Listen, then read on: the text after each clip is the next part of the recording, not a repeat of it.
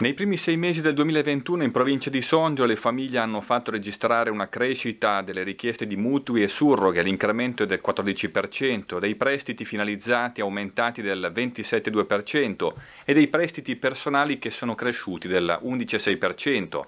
Questa è la fotografia scattata da CRIF, azienda specializzata in sistemi di informazioni creditizie.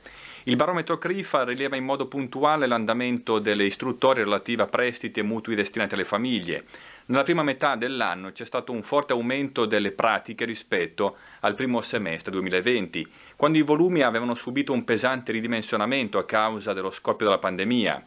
In Lombardia dallo studio emerge che da gennaio a giugno 2021 il numero di richieste di nuovi mutui e surroghe ha fatto segnare un eloquente più 29,4% rispetto allo stesso periodo 2020.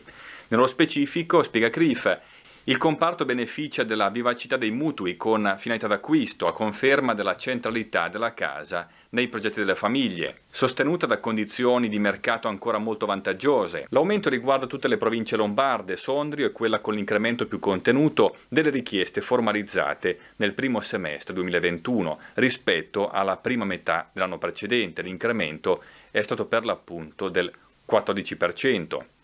Interessante anche il dato degli importi medi richiesti. In Lombardia si attesta a 153.000 euro. Il mutuo in Valteneval Chiavenna ha un ammontare medio che supera di poco i 138.000 euro. Per quanto riguarda invece il numero di richieste di prestiti finalizzati all'acquisto di beni e servizi, come ad esempio auto e moto, arredo, elettronica elettrodomestici, la Lombardia ha fatto segnare, secondo CRIF, nei primi sei mesi di quest'anno una crescita complessiva del 43,4%.